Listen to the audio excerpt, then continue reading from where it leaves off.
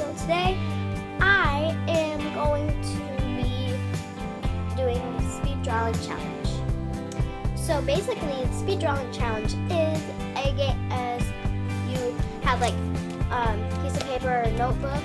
You have like any number of colors and a timer. It can be on a phone, an iPad, or a tablet, any kind of device, like an iPod. I have an iPod, but I'm not going to be using it today. So let's get started. So the first thing that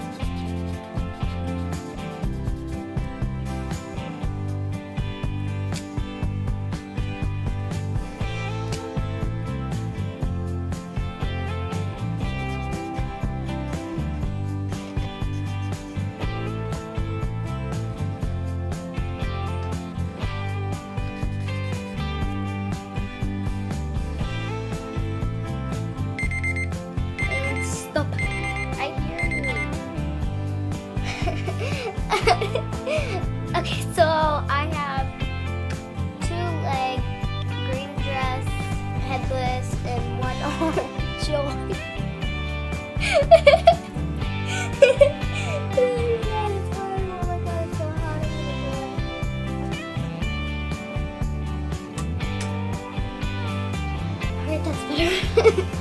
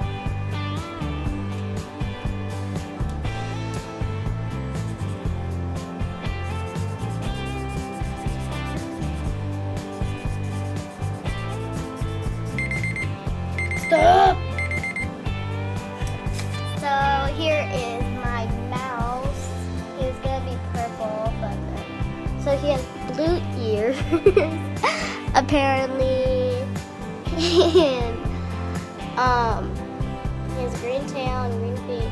I put like a little bow tie on him. Yeah, little bow right there. Not very good.